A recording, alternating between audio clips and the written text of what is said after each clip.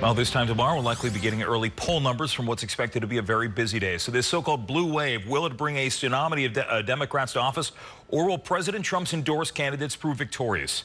The president held his last rallies in Ohio, Indiana, and Missouri today. Cliff Young, president of Ipsos Public Affairs and, and an adjunct professor at Johns Hopkins School of Advanced International Studies, joins us now for a last look at the polls. Cliff, it is good to have you in here tonight. Great to be back.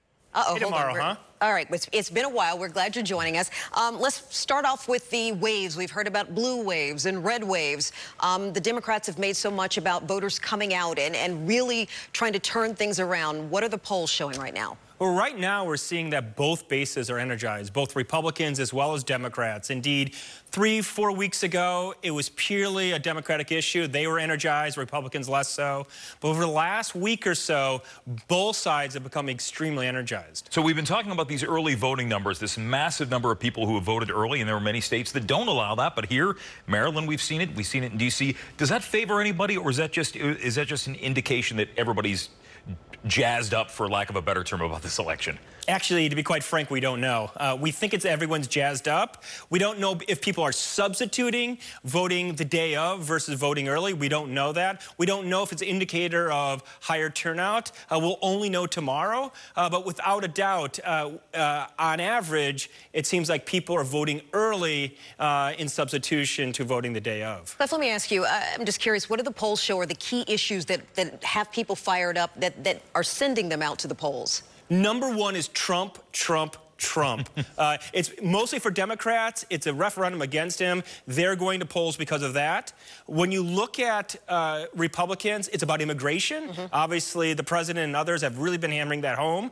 In second place for Democrats is health care. Very important, and very important in second place. For independents, it's a mix. It's health care on the one hand, and it's jobs and the economy on the other when you look at some of the issues that were coming up uh, in, in, the last couple days, you mentioned jobs, jobs, jobs, and the jobs numbers for the president when they came out last week were good, yet what we're still seeing is a big push for immigration on the campaign trail. Is that something that is uh, that, that, that seems to be working for him when it comes time to the polls? Yeah, right now, and I'll use your terminology a bit, it's not jazzing the Republican base, job, job. I'm not going to live that down. It's a good place, yeah, yeah, but it's really about immigration. Indeed, the caravan, other, the wall, uh, the other sorts of issues related to it really, really motivate that Republican base, um, and that's what they're using, uh, perhaps a good effect. Indeed, we've seen over, as I was saying before, over the last three weeks, the Republican base become more energized. Let's talk about some of the numbers in the key local races. We know in Maryland there is the race for governor governor. We've got the incumbent who's been very popular, Republican Larry Hogan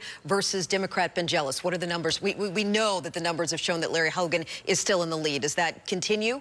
Yeah, the polls suggest he has a lead. Uh, he has a significant lead. He might buck the trend. Indeed, it might be on the on the governorship side and gubernatorial side. It might be a blue wave, a blue year. Mm -hmm. But Hogan has approval ratings of 60 plus percentage points, a very very good place, and it looks like he's in a strong place going into to tomorrow. And we've been looking at a lot of uh, House races, especially two in Virginia. But I think it brings to mind the fact that you have a lot of Democrats who are hitting the campaign trail and almost seeing it as a done deal that they're going to take over. And and if anything that the Democrats should have learned two years ago is that the turnout, that's what matters. That, that, that, What happens on Tuesday is what matters, not what matters leading up to it. Yeah, it's all about turnout. Uh, for your viewers, I would focus on Virginia 10th. That's Comstock's district. Mm -hmm. uh, indeed, it looks like, though I don't want to make uh, any strong predictions, it looks like the House will go uh, Democrat. Uh, uh, that said, um, they're going to have to take key districts, especially in suburbia.